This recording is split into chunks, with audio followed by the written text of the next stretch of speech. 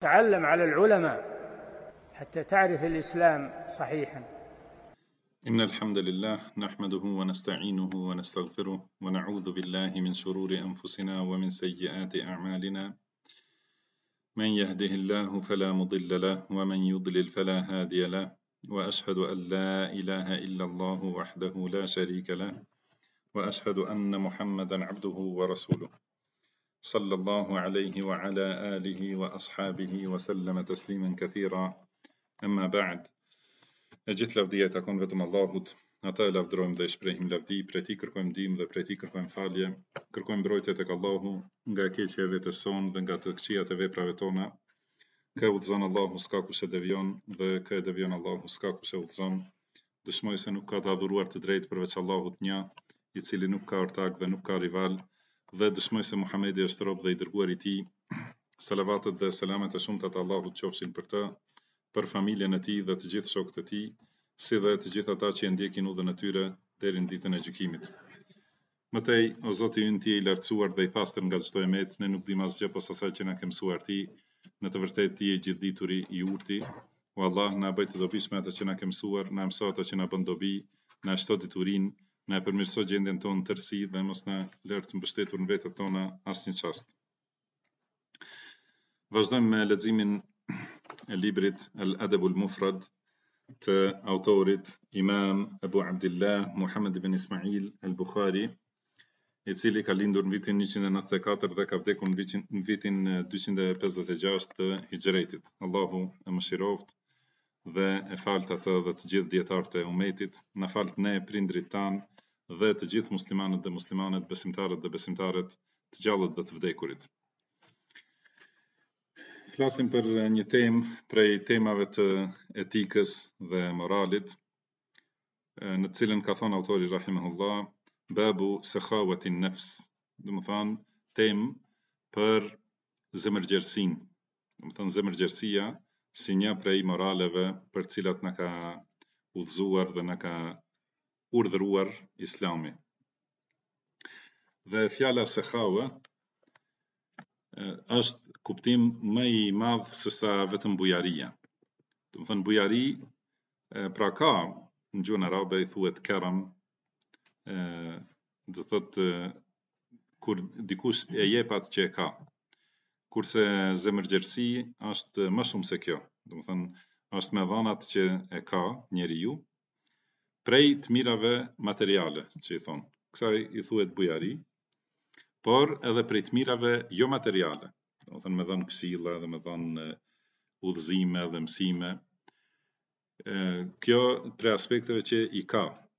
Por zemërgjerësia ka kuptim edhe moskërkimi ose mosbrengosja për atë që nuk e ka, njeriu. Domethanë, nuk, nuk shqetsohet ose nuk është këmbgulës ta fitojë atë që nuk e ka. Kjo është më shumë se vetëm bujari, domethanë, zemërgjersi. Kësaj i thuhet sekhave, në gjuhën arabe. Domethanë, po mundohem ta shpjegoj termin sekhave ose sekhi, do thot për një njeri, i thuhet sekhi, domethanë, ndoshta në gjuhën shqipe është më e përafërt fjala zemërgjerë. Sepse kur i mungon njeriut kjo, sekhave, e kundërta e kësaj është shuh arabisht, që domethanë zemërngushtësi. Edhe për atë do të flasim. Atëherë njeriu nuk brengoset, a e fiton pasurinë me hallall ose haram. Domethënë, do vetëm me fitu, patjetër. Ose pozitën, ose çkado qoftë tjetër, kësaj i thonë, domethënë që është zemërngusht. Do të flasim te e kundërta e kësaj, por vetëm sa për ta kuptu, është për qëllim moral, morali i islamit dhe edukata e muslimanit është që të jetë zemërgjerë.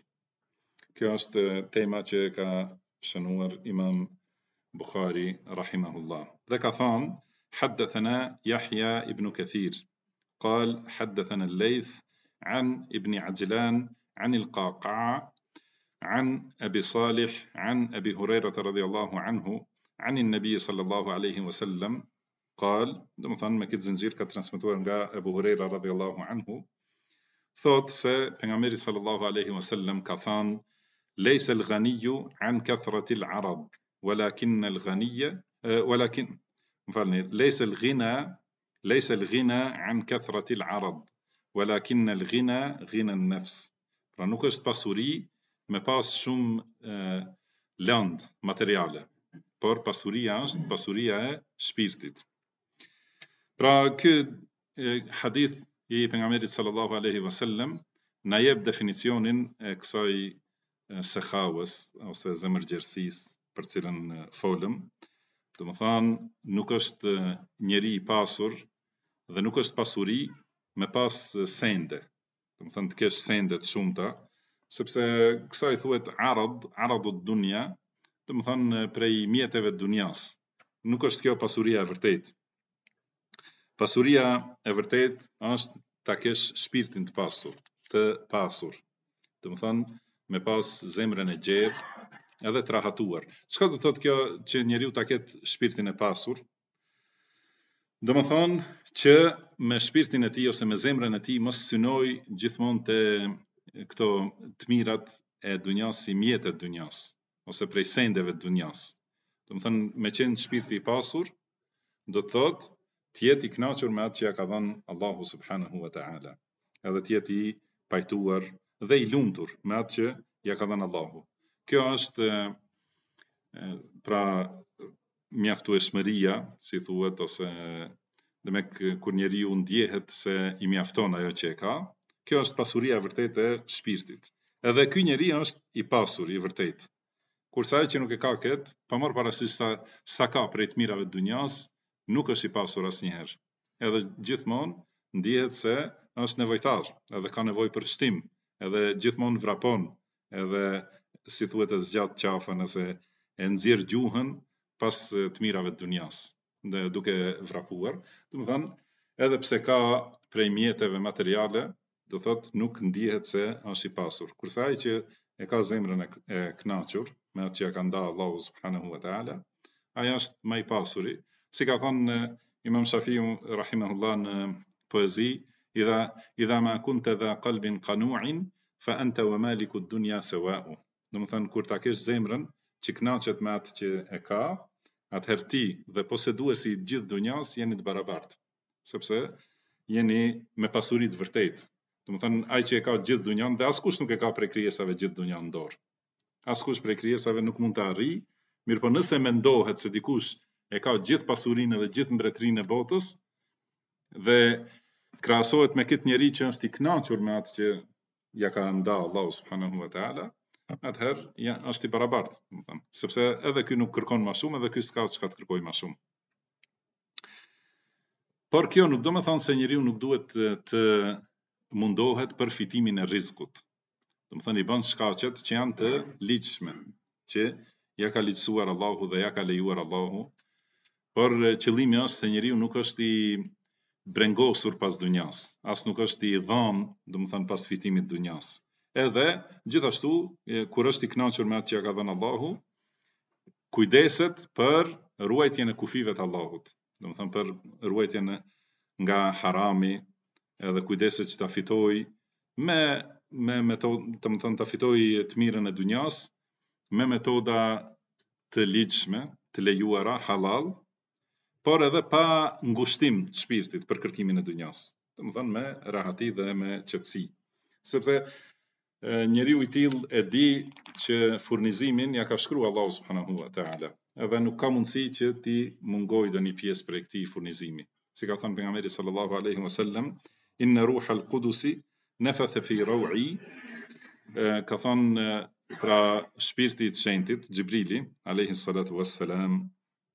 më ka frymëzuar në shpirtin tim ose në zemrën time se ka thënë enne nefsen len temute hatta testekmile rizkaha. Ka thënë asnjë njeri nuk mund të vdesë deri, de, përderisa nuk i plotësohet i gjithë rizku që ja ka shkru Allahu. Pra nuk ka mundësi njeriu të vdesë pa e marrë gjithë atë që e ka të caktuar ta marrë në dunja. Prandaj ka thënë, fettekullaha wa egjmilu fit taleb. Domethënë kini frikë Allahut, ruhuni Allahut dhe kërkojnë kërkoni pra rrizkun në mënyrën më të bukur. Domethënë me mënyrën e mirë, jo me as me haram, domethënë mos kërkoni me haram, por as me konkurrencë kriminale. Domethënë duke dashur ta dëmtosh tjetrin, pra kërkoje me mënyrë të bukur rrizkun, të pastër dhe dinjitoze, sepse nuk ka mundësi me vdek pa u plotësu rrizku. Mos mendojë dikush se do t'i hiket diçka prej të mirave të dynjasë pa e fitu, prej asaj që ia ka caktu Allahu subhanahu wa taala. Pra prej përfitimeve të këtij hadithi është siç thamë se pasuria e vërtetë është pasuria e shpirtit, pasuria e zemrës.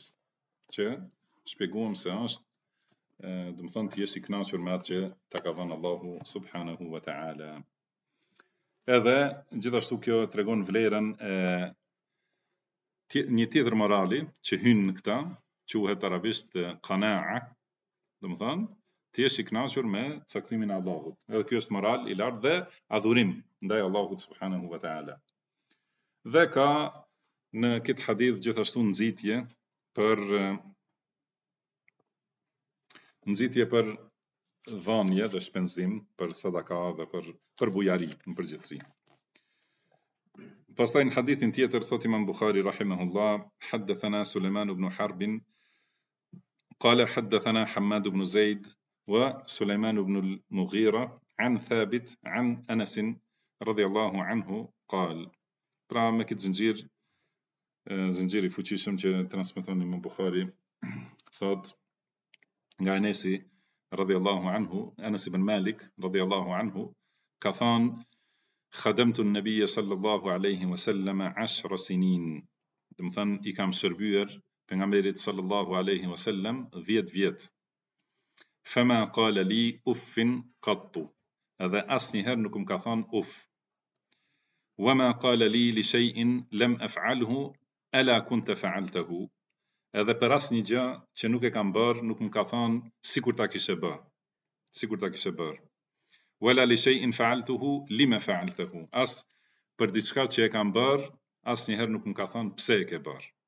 Pra, në këtë hadith tregon Enes ibn Malik radhiyallahu anhu për këtë moralin e lartë të pejgamberit sallallahu alaihi wasallam dhe në veçanti për zemërgjerësinë e pafundme dhe të pakrahasueshme të pejgamberit sallallahu alaihi wasallam.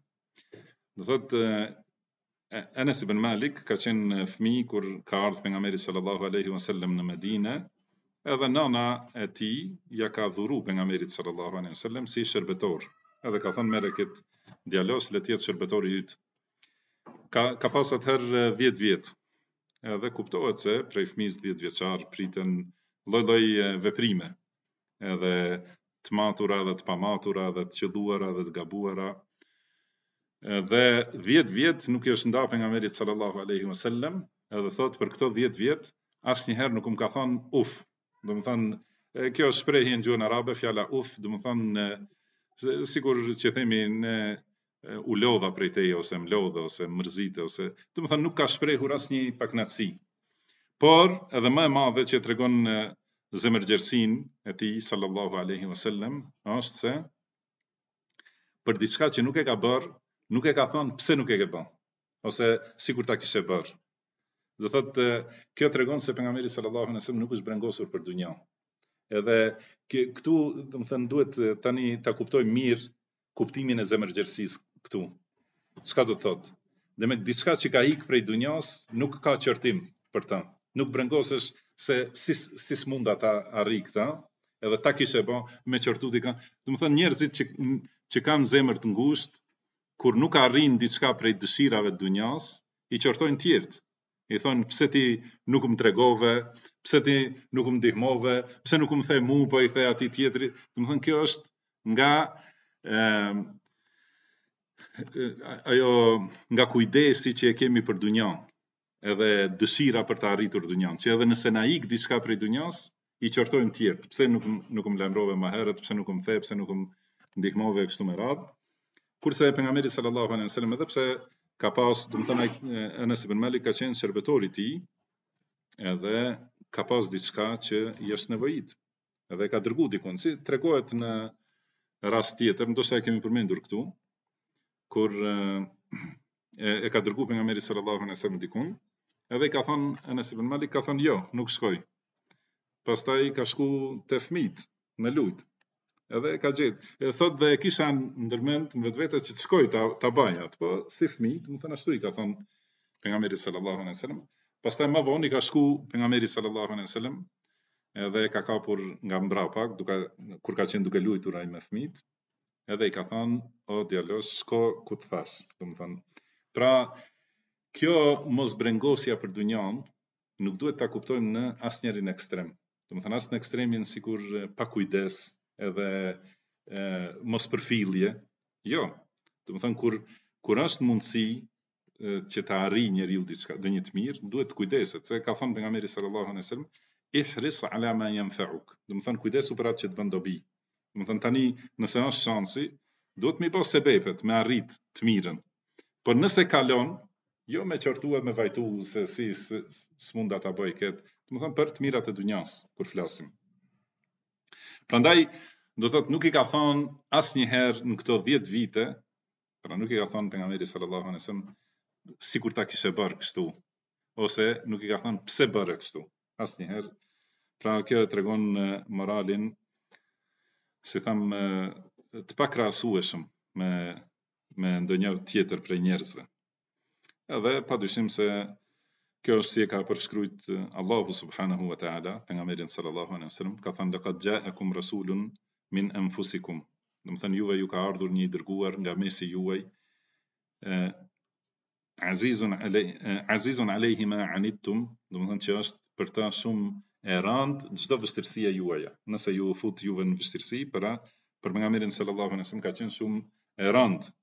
Harisun alejkum, është shumë i kujdesshëm për ju, për çdo të mirën tu, për çdo të mirë tuajën, bil mu'minina raufur rahim, dhe ndaj besimtarëve është i butë dhe i mëshirshëm.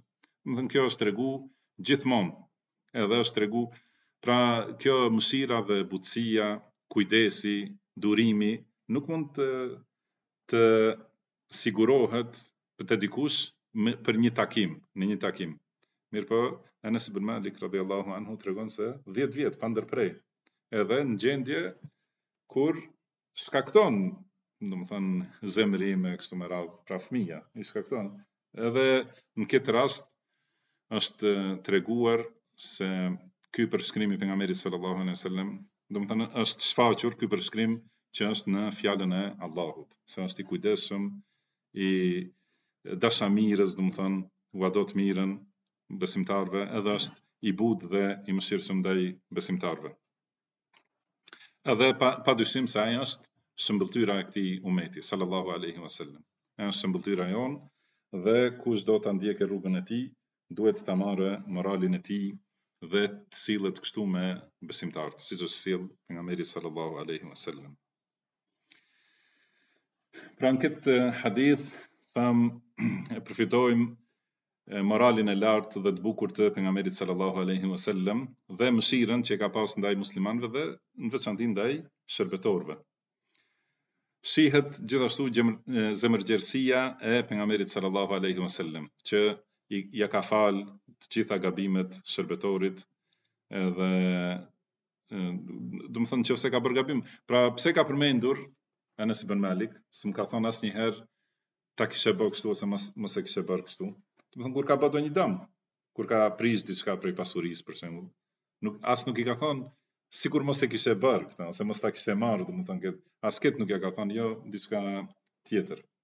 Gjithashtu në këtë hadith vërtetohet vlera e Anas ibn Malik radhiyallahu anhu. Pastaj në hadithin e radhës thotë Imam Bukhari rahimahullah, haddathana Ibn Abi al-Aswad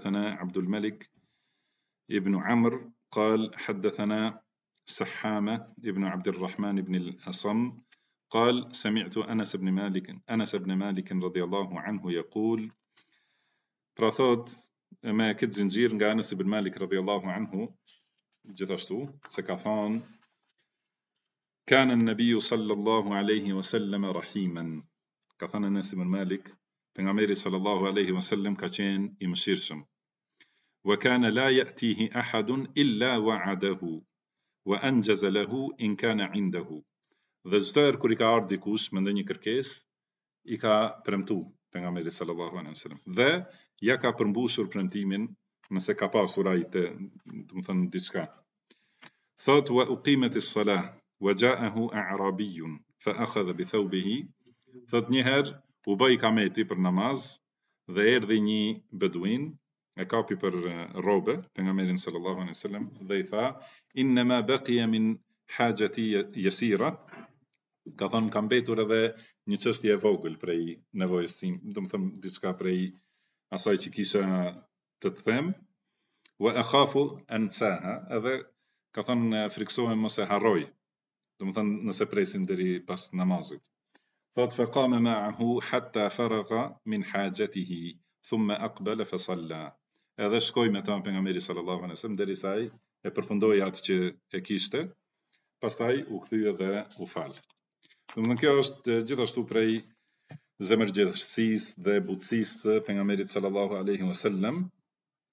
që pra nuk ka qenë me si themi ne, si dhe si jemi ne shumë prej nesh thuhet në gjuhën tonë si me me shpirt në fyt domethënë sikur me me ngushtim me me vështirësi çështjet pra ka qenë shumë i qetë dhe zemërgjerë i ka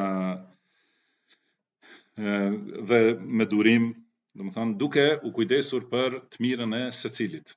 Pra ka shku me këtë njeri, ky njeri ka ardhë, ka pas çështje, edhe i është përgjigj pejgamberi sallallahu alejhi ve sellem për shumë çështje, dhe pastaj, pas ikametit, i është kujtu se i ka mbetur edhe diçka. Ka thënë, friksohem se mos harroj mas namazit. Edhe i është përgjigjur pejgamberi sallallahu alejhi ve sellem edhe për këtë. Njëherë në fillim pra thotë kana rahiman, kana nabi sallallahu alejhi ve sellem rahiman. Pra pejgamberi sallallahu alejhi ve sellem ka qenë i mëshirshëm. Edhe çdo herë kur i ka ardhur dikush, i është përgjigjur. Pra, do ta lexojmë tash edhe hadithin tjetër që vazhdon shpjegimin e kësaj. Nëse ka pas mundësi, pejgamberi sallallahu aleyhi wa sallem, secilën kërkesë, çdo kërkesë që ka pas dikush, ia ka dhënë. Nëse nuk e ka pasur në atë moment, i ka premtuar ose ka i ka dhënë shpresë me fjalë të mira, ka thënë nëse na vjen diçka ose nëse nëse arrihet ose hajde ma vonë pas një jave kështu me radhë. Dhe kur pra kjo është te kuptimi i premtimit. Domethënë nëse ka pasur diçka, nëse ka pasur domethënë atë kërkesën e ka përmbushur. Nëse jo, i ka premtuar. dhe ia ka përmbushur kur ka pas mundësi. Nëse është dit që nuk ka mundësi, prap i ka thënë fjalë të mira. Edhe kjo është shfaqur edhe në këtë rast. Pra kur është bërë ikameti, edhe ai ka vazhdu me kërkesën e tij ai beduini dhe pejgamberi sallallahu alejhi ve sellem ka shku me të derisa e ka kryer atë që ka dasht. Pastaj është kthyer dhe është falur. Te ky hadith gjithashtu përfitohet edhe në aspektin e fikhut, kanë përmendur dijetarët çështjen e çështjen e ikametit me namazin. Edhe në disa prej hanefive kanë thanë, ose është medhhebi hanefi, se imami e ka obligim ta thotë tekbirin fillestar të namazit kur muezini thotë kad qametis salah. Domethënë kështu është pra kur dhe, kur ta thotë fjalën e ikametit, domethënë kad qametis salatu kad qametis salah, në atë moment duhet imami patjetër t'thotë Allahu Akbar, ta fillojë namazin. Mirëpo ky hadith tregon se nuk është kjo e saktë. Do thotë, pasi t'mbarojë ikameti, merret tekbiri. Tani ka ihtilaf a lejohet me pas ndarje mes ikametit dhe dhe tekbirit fillestar ose nëse ka ndarje do thotë a duhet të përsëritet ikameti prap. Edhe shkurtimisht do thotë ma e saktë asht që nëse ndarja është për ndonjë nevojë domethënë ndodh diçka që duhet të angazhohet imami ose janë xhamati me ndonjë çështje pas barjes së ikametit. Edhe kjo ndarje nuk është shumë e gjatë. Atëherë vazhdohet namazi pa përsëritjen e ikametit, sepse ikameti bëhet një herë, jo shumë herë. Por nëse është ndarja për diçka tjetër, domethënë lihet krejtësisht, puna e namazit, domethënë është ba ikameti, mirëpo ka dalë krejtësisht diçka tjetër punë, edhe largohen prej atij vendi, pastaj ma vonë edhe pas një kohe ma të gjatë, nëse duhet të kthehen, atëherë e bëjnë edhe një herë ikametin. Kjo është shkurtimisht. Edhe kjo tregon gjithashtu se kjo vonesë e pejgamberit sallallahu alejhi ve sellem ka qenë e shkurt, domethënë është ba ikameti, ka vazhdu me bisedu me atë nevojtarin, edhe pastaj ia ka përfundu ato që ka pas ai, edhe ka vazhdu në namaz. Pra prej këti hadithi, në këtë hadith përmendet bujaria e pejgamberit sallallahu aleyhi wa sallam, përmendet gjithashtu plotësimi i premtimeve, thotë çdo herë e ka plotsu, plotsu premtimin e dhanë, Gjithashtu, siç thamë, tregohet se lejohet ndarja ose si me thanë pauza mes ikametit dhe tekbirit fillestar të namazit për ndonjë nevojë. Por nëse bëhet pa nevojë, atëherë është e urryer Thuhet, është e urryer, nuk është haram. Po ashtu në këtë hadith tregohet durimi i pejgamberit sallallahu alejhi ve sellem ndaj injorantëve. Domethënë sidomos kur vjen dikush i huaj që nuk ka njohuri, për shembull nuk e njeh Islamin ose nuk e njeh menhexhin selefi ose nuk i njeh rregullat dhe sistemin e xhamisë për shembull, Domethënë pejgamberi sallallahu alaihi wasallam ka qenë shumë durimtar. Nuk e ka marrë menjëherë njeriun në momentin e parë që shfaqet në perimetrin e xhamisë, si thonë, që me qenë 100% dietar. Njerëzit, domethënë, janë në nivele të ndryshme. Vjen injoranti, vjen vjen dikush që ka qenë i pa i pa edukuar, por pejgamberi sallallahu alejhi ve sellem i ka marrë me butësi, me mëshirë, me durim edhe i ka udhëzu. Edhe sikur ky rast, domethënë me të vërtetë ne duhet ta analizojmë gjendjen tonë edhe ta shohim nëse i vjen dikush imamit pasi të bëhet ikameti. Thotë kam diçka nevojë me të pyt. si do të kishte qenë reagimi i imamit e i xhamatit e i, i gjithëve. Allah na përmirësoftë. Domethënë pra pejgamberi sallallahu alejhi ve sellem nuk e ka marrë atë me i thon se ti domethënë nuk i ka nuk i ka kthy përgjigje të ashpër, por përkundrazi, i është përgjigj atij në kërkesën e tij. Edhe ngjashme me këtë është edhe personi që ka urinu në xhami, Edhe sahabët e kanë kanë dasht ta ndalojnë menjëherë, kurse pejgamberi sallallahu alajhi wasallam i ka ndaluar. Edhe pastaj i ka thënë, pasi ka mbaru, i ka thënë t'i hedhin një kovë ujë me pastru vendin. Edhe i ka thënë atij, kjo është xhami, shpi e Allahut, është vetëm për ta adhuru Allahun, nuk është për punë tjera. edhe ai ka thënë Allah më mëshiro mua dhe Muhamedin edhe për përveç nesh mos e mëshiro askënd. Ka thënë pejgamberi sallallahu alaihi wasallam e ngushtove atë që është shumë e gjerë, domethënë mëshirën e Allahut. Ky është mësimi dhe edukimi që e ka përdor pejgamberi sallallahu alaihi wasallam. Edhe ai është shëmbëlltyra jonë dhe ne duhet të pasurohemi dhe të pajisemi me këtë moral të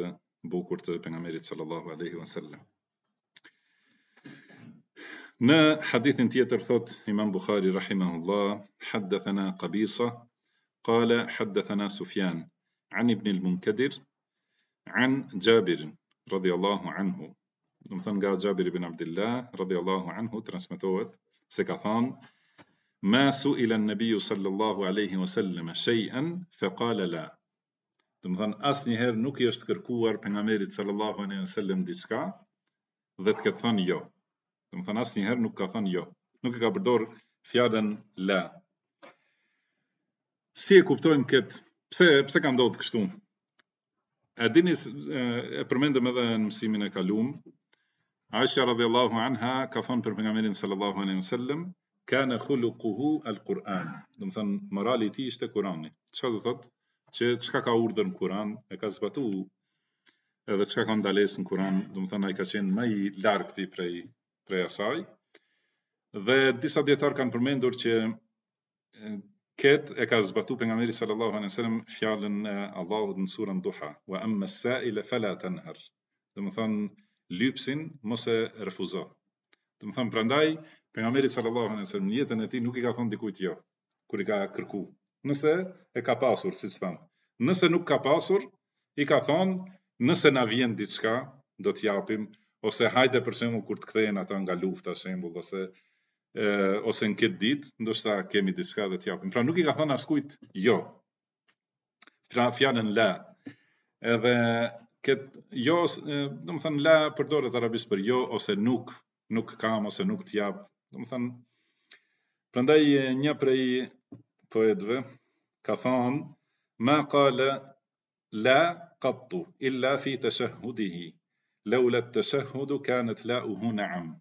Domethënë nuk ka thënë pejgamberi sallallahu alaihi wasallam la përveçse te shahadeti. Edhe mos t'kish qenë shahadeti nuk do të se do të kish pas në fjalorin e tij la. Domethënë pra vetëm te fjala la ilaha illallah që ka thënë la. Pra ky është kuptimi për moralin e pejgamberit sallallahu alaihi wasallam. Domethënë se s'e ka përdor fjalën la.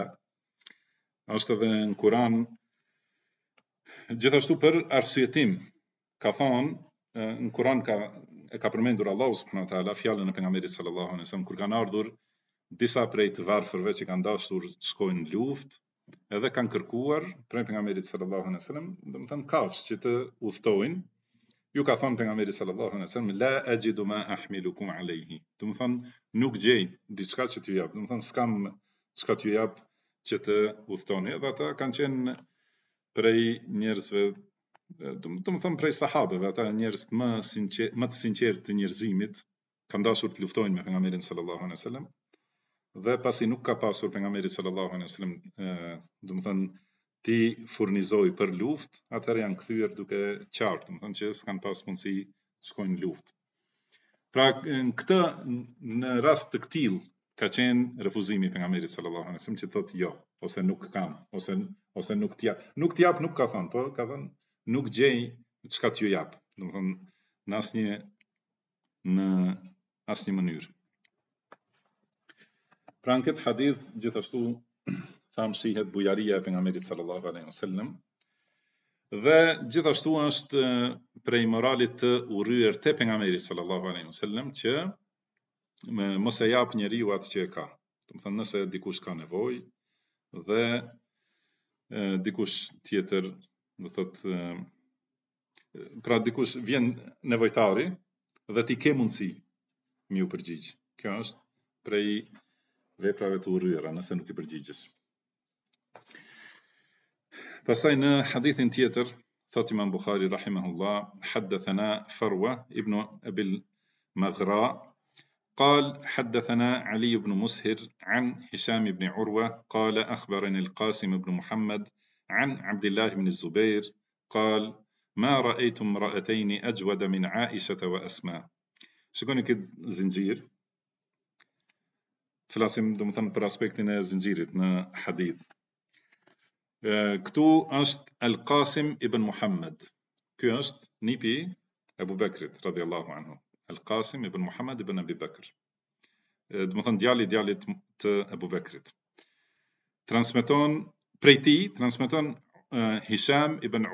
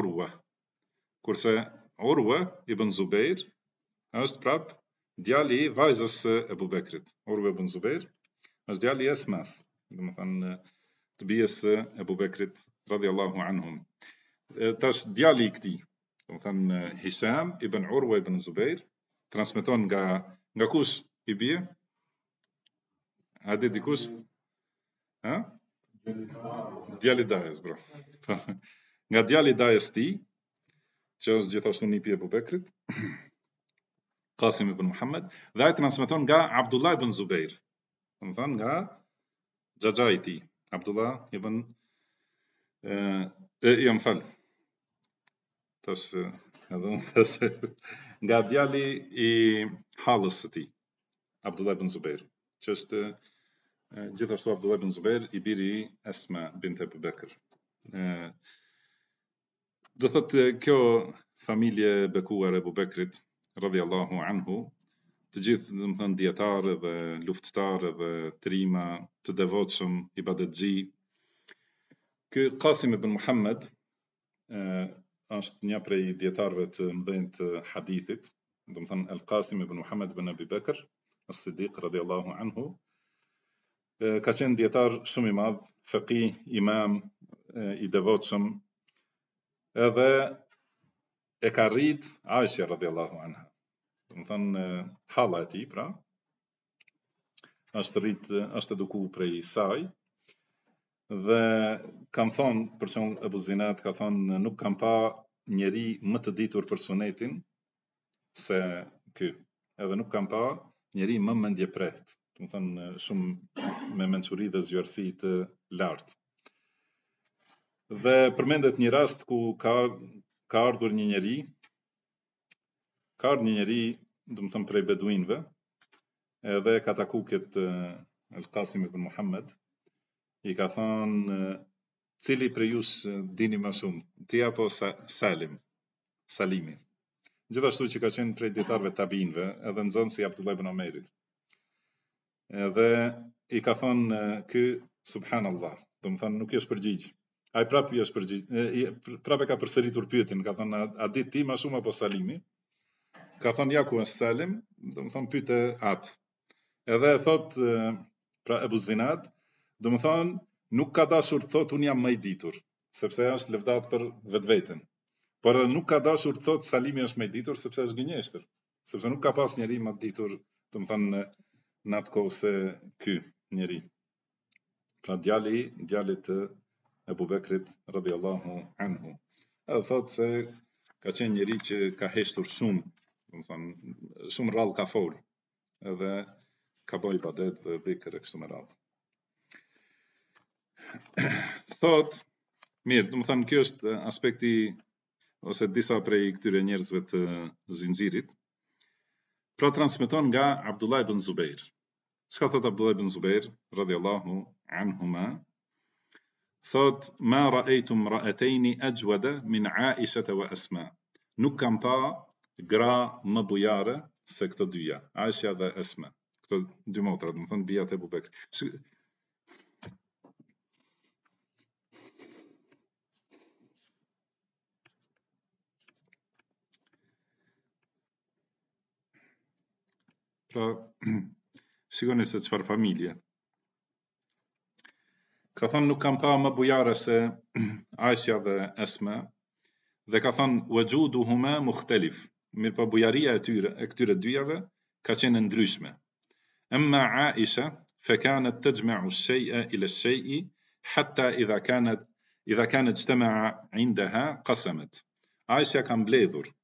ka mbledh, ka mbledh, pastaj kur, kur është mbledhur një pasuri, atëherë e ka shpërnda. Wa emma esma, fe kanet la tumsiku shejen li gadin, kurse esmaja, radiallahu anha, gjithashtu, nuk ka lan asgjë për nesër. Domethënë, momentin që i ka ardhë, e ka, e ka dhanë. Pra kjo është bujaria e këtyre që janë eduku, domethënë, nga pejgamberi sallallahu aleyhi wa sallam, Aisha radiallahu anha, është gruja e pejgamberit sallallahu aleyhi wa sallam, është edukuar në shtëpinë e tij, edhe esma gjithashtu që ka qenë motra e Aishës, pa po ashtu ka marrë këshila prej pejgamberit sallallahu aleyhi wa sallam, edhe këtë që e ka praktikuar është se nga fjala e pejgamberit sallallahu alaihi wasallam se i ka thënë anfiqi wala tuhsi fayuhsi Allahu alayki i ka thënë jep dhe mos e numëro domethënë sa sa je duke dhënë se edhe Allahu t'i numëron pastaj të mirat edhe i ka thënë mos grumbullo mos mblidh domethënë se mos të t'i mbledhë Allahu, domethënë të t'i marrë Allahu ty të mirat. Transmeton Buhariu dhe Muslimi. Dhe prandaj nga kjo e ka kuptuar që nuk duhet të mbajë në shtëpi ose në pasurinë e saj asgjë. Edhe ka dhënë. Edhe Aisha radhiyallahu anha gjithashtu nuk e ka mbledh për veti, por e ka mbledhur me nijet të me dhon sadaka. Cila është prej këtyre më e vlefshme? Cila formë është më e vlefshme? Më e vlefshme është e Aishës radhiyallahu anha se ajo ka qenë më dijetare, domethënë më shumë dituri ka pas. Dhe ka mbledhur, siç përmendet, domethënë se u ka, ka dhënë shumë, edhe shumë prej njerëzve që kanë pas nevojë kanë shpresu të marrin prej saj. Nëse e kishte dhënë atë pak që ka qenë, ose do t'ja kishte dhënë një njeriu, edhe të tjerë do të ishin mërzit, domethënë. Ose do t'ja kishte shpërnda atë të gjithëve, edhe nuk do të kish përfituar askush. por e ka bërë këtë që ka mbledh një sasi më të madhe, pastaj kur i ka dhënë kanë pas dobi të gjithë. Pra ka disa e, raste që janë transmetuar, thot se për shembull në një prej transmetimeve gjithashtu nga Urwa ibn Zubair thot se e kam pa Aisha radhiyallahu anha duke shpërnda 70000 dirhem ose dinar, Allahu alem, 70.000, thot. Pastaj thot i ka dhënë Muawija kur ka qenë halife, kuptohet se halifet janë kujdesur për familjen e pejgamberit sallallahu alaihi wasallam.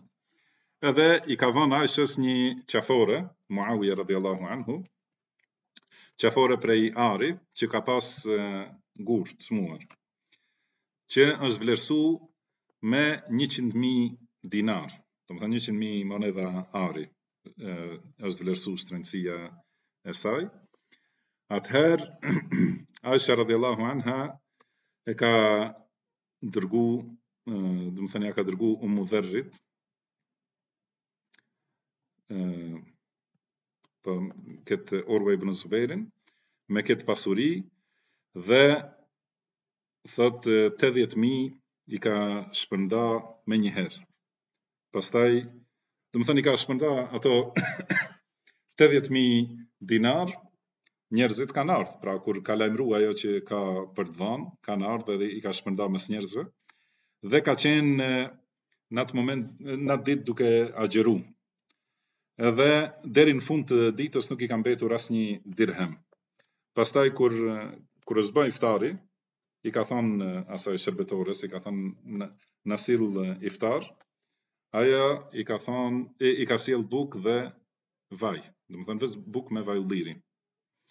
Edhe i ka thonë Umu Dherr, ka thonë a nuk munde me mbajt një dinar, domethënë të na blesh diçka për iftar. Domethënë as, as për iftarin e tyre nuk kanë pasur.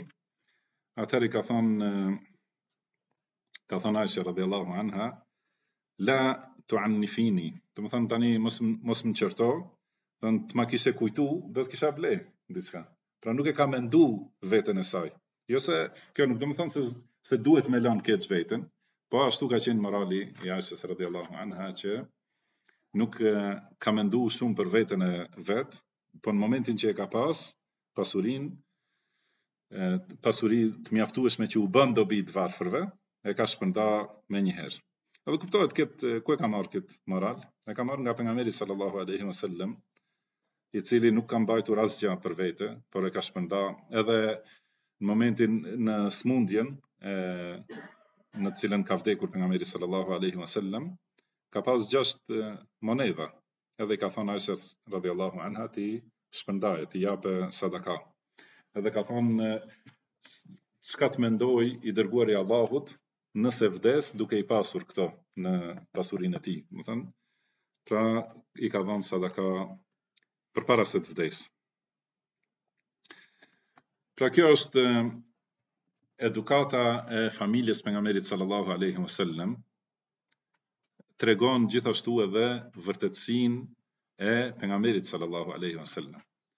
Pra këta kriminelët dhe qafirat që e akuzojnë pejgamberin sallallahu alaihi wasallam me akuza të llojllojshme, nëse kishte qenë, si themi, një përqind e vërtet prej asaj që thonë, a do të ishte familja e tij kështu, domethënë, ky njeri që ka fitu pozitë edhe pushtet të madh në dunja, para vdekjes tij, edhe ka fitu njerëz, i ka fitu zemrat e njerëzve, që i janë nënshtru urdhrave të tij. Edhe kemi edhe deri sot edhe deri në ditën e gjykimit besimtarët kanë dashuri të pamatur për familjen e pejgamberit sallallahu alaihi wasallam. Domethënë të pamatur në krahasim me dashurinë ndaj njerëzve të tjerë, sepse dashuria ndaj secilit është e matur sipas ligjeve të Allahut. Domethënë kanë dashuri ndaj familjes pejgamberit sallallahu alaihi wasallam. Cili prej antarëve të asaj familje ka vrapu për të arritur pushtet ose për të grumbullu pasuri ose për për përkundrazi pejgamberi sallallahu alajhi wasallam ka thonë ne nuk trashëgohemi atë që mbetet është sadaka domethënë nuk i ka lon asgjë familjes vet prej pasurisë dunjas as nuk e ka caktu dikën prej familjes vet që të jetë pushtetar siç gënjejnë edhe shpifin shijat Domethënë nuk ka qenë synimi i pejgamberit sallallahu alaihi wasallam as pushteti në dunja, as pasuria e dunjas, por ka qenë thirrja për adhurimin e Allahut subhanahu wa taala.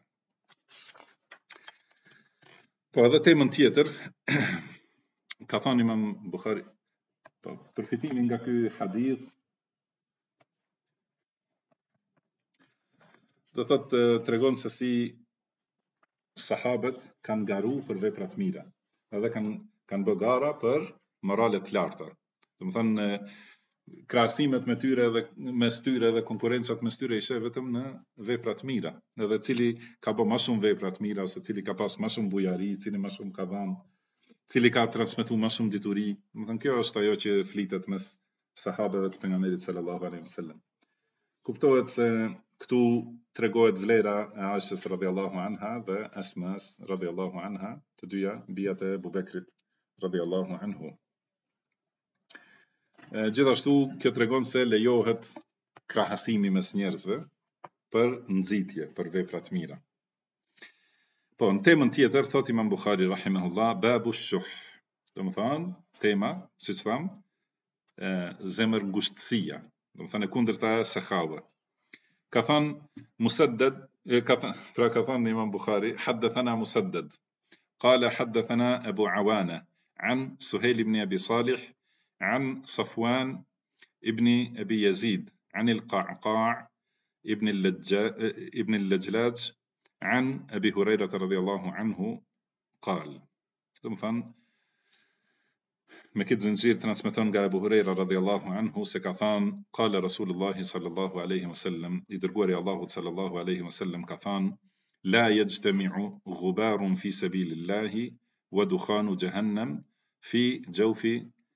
abdin ebeda, domethënë nuk bëhet bashkë në brendësinë e robit, domethënë në mushknit e robit, pluhuri në rrugën e Allahut dhe tymi i xhehenemit. Nuk hyn te i njëjti rob, edhe tymi edhe pluhuri në rrugën e Allahut edhe tymi i xhehenemit.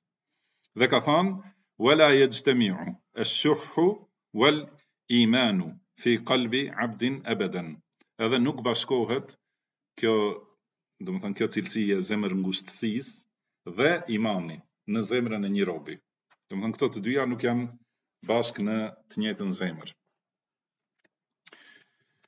Këtu pra në këtë hadith tregon pejgamberi sallallahu aleyhi vësallem dy çështje të rëndësishme, një nxitje edhe një paralajmërim.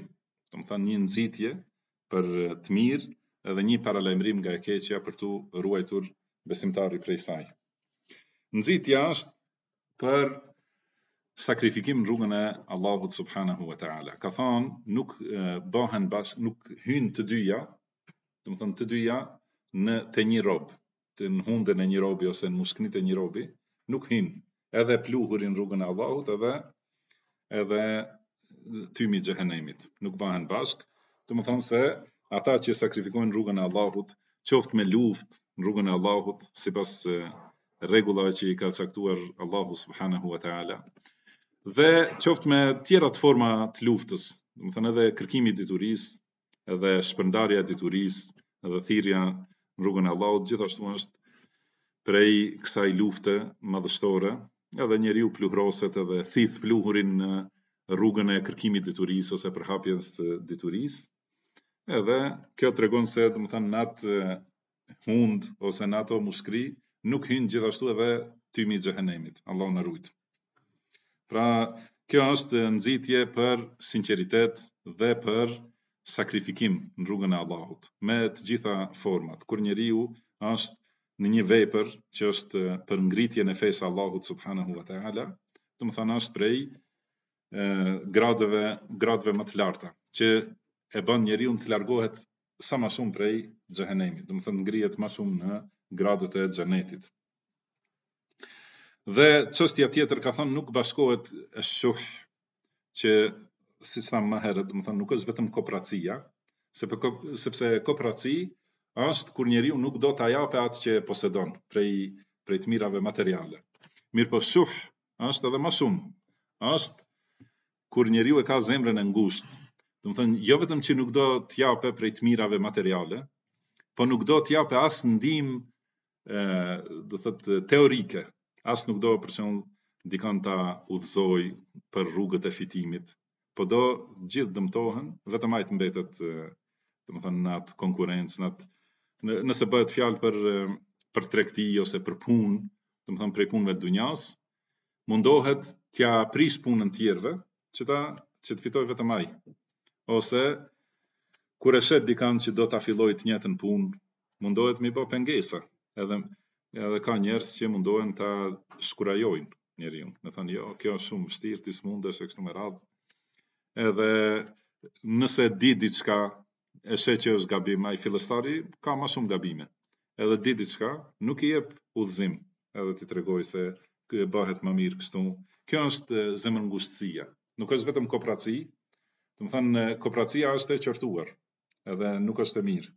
Mirëpo ajo është kur njeriu nuk e jep atë që e ka në pasurinë e tij. kurse kjo është edhe më shumë. As nuk do që dikush tjetër të ketë edhe gjithë kjo vjen, domethënë nga kjo zemërngushtësia që mendon njeriu se rrizku është i kufizuar. Kurse rrizku i Allahut është i gjerë. Edhe të tjerët mund të fitojnë, edhe ti mund të fitosh, edhe nëse jep gjithashtu nuk pakësohet, se ka thënë pejgamberi sallallahu alajhi wasallam, sadakaja nuk e pakëson pasurinë asnjëherë. Dhe gjithashtu shuh ose kjo zemërngushtia e bën njeriun që të vrapojë mas dunjas me halal dhe me haram. Edhe me kryerje të obligimeve dhe pa kryerje të obligimeve. domethënë vetëm që ta fitojë, domethënë e ka zemrën vetëm te të mirat e dunjas. Kjo është do të thotë kuptimi i shuh, i fjalës shuh, sepse ka tjetër fjalë për kopraci që thuhet që që është arabisht bukhl. Domethënë kopracia është e keqe, siç thamë, mirëpo zemërngushtësia është edhe më e keqe. Tani kjo që nuk bashkohet në një zemër, këto të dyja cilësi, edhe imani, edhe zemërngushtësia. A do të thotë se është qafir ai që është zemërngusht? Qëllimi është se në qoftë se nga kjo zemërngushtësi njeriu e mohon edhe obligimin që ja ka ba Allahu, domethënë nga nga zemërngushtësia, nuk do me dhon zekatin. Po jo vetëm që nuk e jep, po thotë nuk e kam obligim, ose nuk është obligim. Atëherë Bëhet qafir, do thotë kjo të, kjo është cilësi e rrezikshme, domethënë ka mundësi ta nxjerr njeriun në kufër. Kjo teprimi në ngushtimin e zemrës.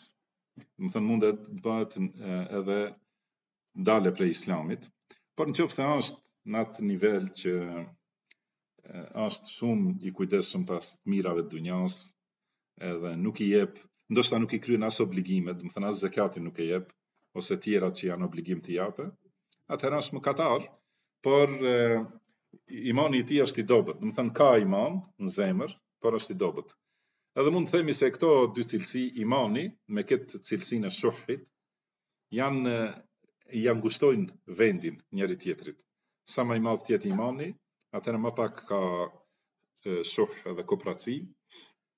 Por sa më shumë që të jetë koprracia edhe zemërngushtësia, ja ngushton pozitën imanit, ka mundësi edhe me dal krejtësisht prej imanit Allahu na ruajt.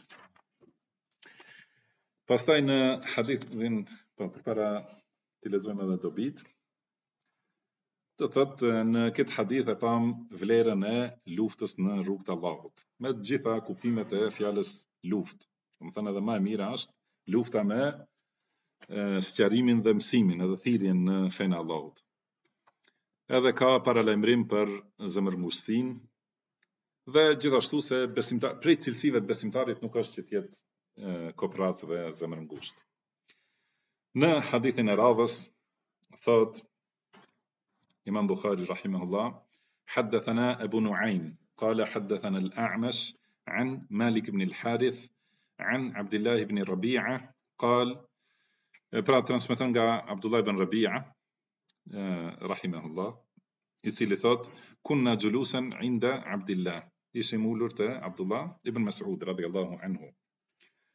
Thotë fe dhekaru raxhulen fe dhekaru min khuluqihi edhe aty duke qenë e kanë përme, kanë përmendur një njeri dhe kanë përmendur e kanë përmendur moralin e tij të lartë.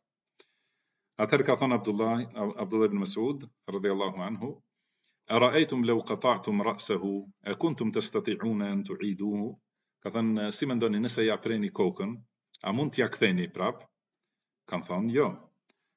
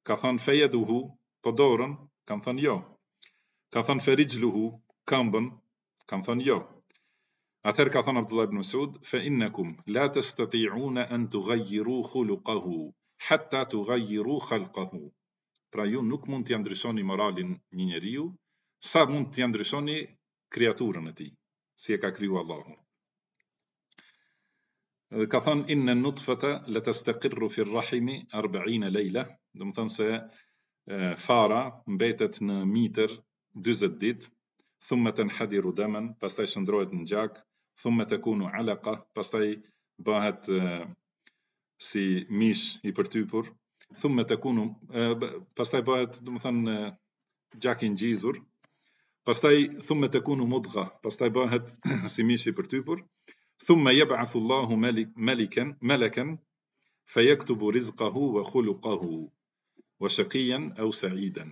Pastaj Allahu dërgon një melaike, një prej melaikeve, një engjëll, edhe ia shkruan furnizimin, rrizkun atij dhe ia shkruan moralin dhe e shkruan a do të jetë prej të lumturve ose të dëshpëruarve, domethënë a do të jetë besimtar ose ose mosbesimtar, a do të jetë prej banorëve të xhenetit ose të xhehenemit.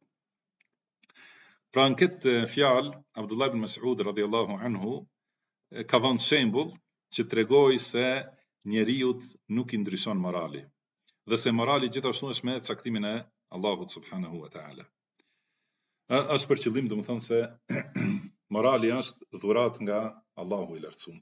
edhe atij që i ka dhënë moral të mirë, domethënë duhet ta falënderojë Allahun dhe kush ka mangësi duhet të përpiqet se secila çështje siç është edhe për kreaturën, domethënë nëse njeriu ka diçka dobësi në trupin e tij, mundohet ta përmirësojë atë me përpjekje, me sebepet që i ka leju Allahu subhanahu wa taala. Nëse dikush ka mangësi në furnizimin e tij, në rrizk,